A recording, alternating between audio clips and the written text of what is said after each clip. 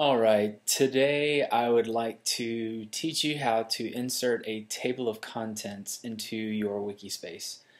Um, if you notice, I created a custom one um, for my Wikispace right here um, using CSS. That's probably a tutorial for another time. But um, really cool feature in Wikispaces. Uh, what it allows you to do is if you have a lot of um, information on a page, um, it's helpful to create a table of contents so that users can click on a certain topic and then it'll bring them down to that section of the of the page so they don't have to scroll all the way down. So instead of scrolling doing all this, they can simply do this and it jumps down, or this. So, um, in order to do that, it's really simple. Uh, it actually involves a little bit of wiki text, um, which is just the code that wikispaces.com has provided for its users. So to do that, you go ahead and click on Edit, and then you can go ahead and click on Text Editor right here.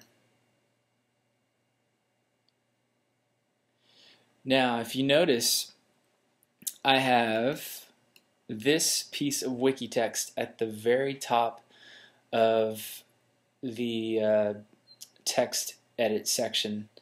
And all it is is two left brackets and then TOC and then uh, two right brackets.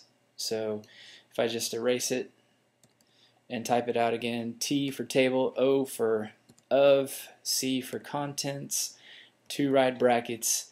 It's that simple. Um, you have to place it um, above everything else on its own separate line, and then all of your other um, information on your page should go beneath it. Now, here's here's one point that you you need to listen to closely. In order to um, actually get some sections into your table of contents, you have to create some headings. So in order to do that, I went ahead and decided to use um, Wikitext for this as well. Um, you don't have to, but I just find that using the text editor is a little bit easier and less buggy um, for my computer, and my browser.